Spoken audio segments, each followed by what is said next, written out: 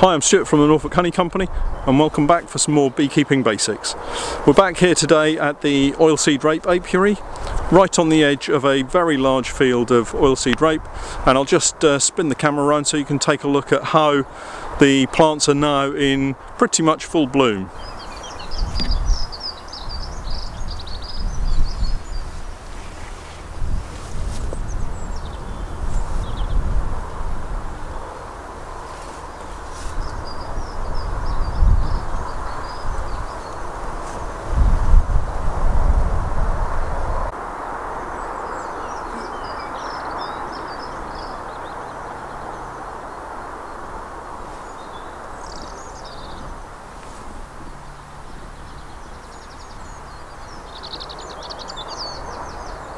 So I'm back at the apiary to put on a few more supers. I'm going away for the BBKA Spring Convention over the weekend and I know that at the weekend the temperature is going to go up again and if it goes up the bees are going to get out foraging and it's quite easy for them to fill one super very very quickly with the nectar from the oilseed rape crop.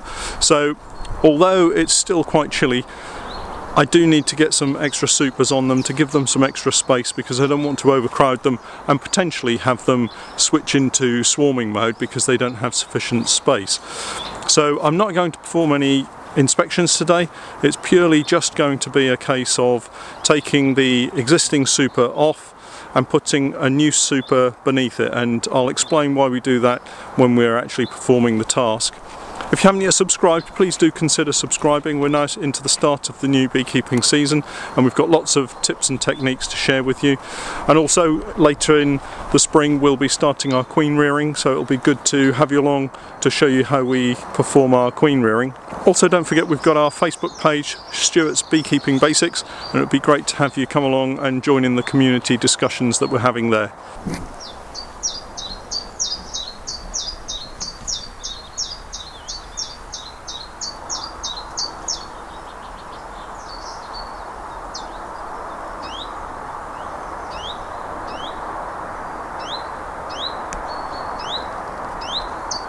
So what I'm looking for when I'm taking the roof off and just checking underneath the roof is lots of bees coming up through the crown board. I'm not going to smoke them initially, but I want to see if the super has got lots of bees in it. If the super is full of bees, then that's an indication that they're working the super really well and that they probably need another super over the next few days.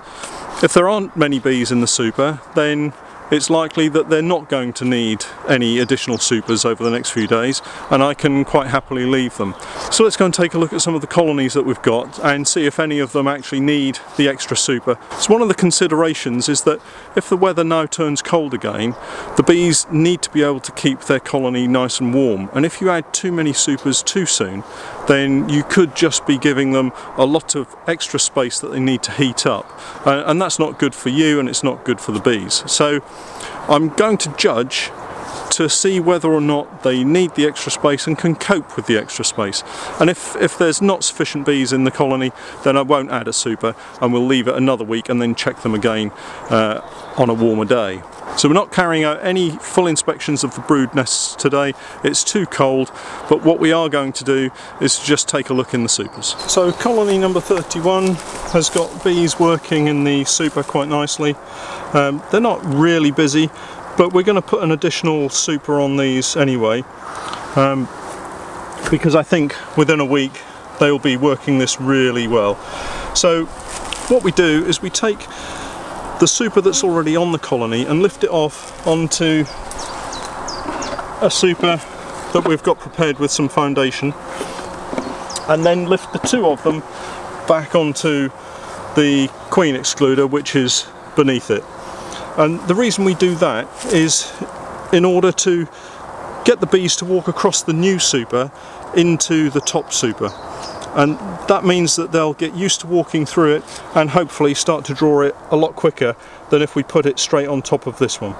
So I'm just going to lift this off onto the new super and then we'll replace it in fairly quick time.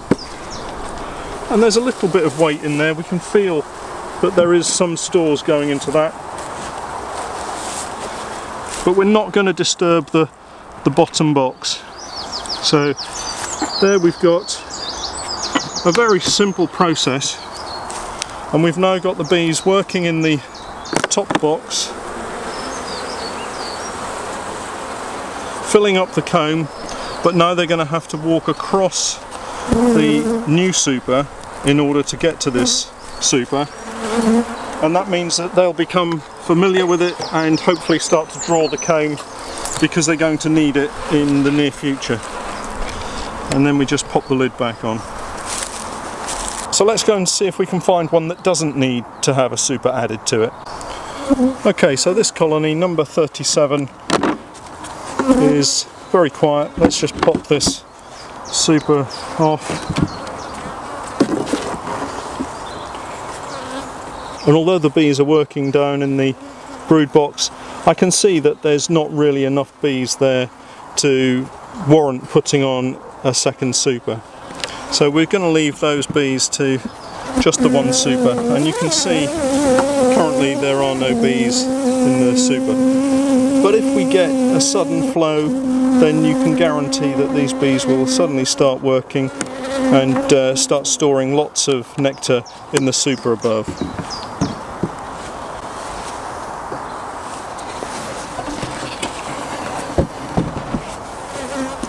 So there we are, just a quick video to show you how we've added some supers to the oilseed rape apiary. There's just a few that we've added extra supers to. Uh, it's still early in the season so hopefully over the next week or two as the oilseed rape continues to flower we'll, uh, we'll be adding more supers to the colonies here and I'll keep you updated as we go and also show you some of the inspections that we're doing here. I hope you found that interesting. Please do stop by our Patreon page and take a look at ways in which you can help support us with our videos. And I've put all the details down in the description below and we'll catch up next time. Thanks for watching.